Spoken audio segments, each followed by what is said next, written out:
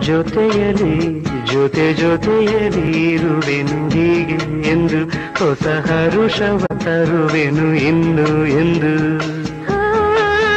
ಜೊತೆಯಲ್ಲಿ ಮಾತಾಡಿದೆ ಮಾತಾಡಿದೆ ಭಾವನೆ ಜೊತೆ ಇರುವೆನು ಹೀಗೆ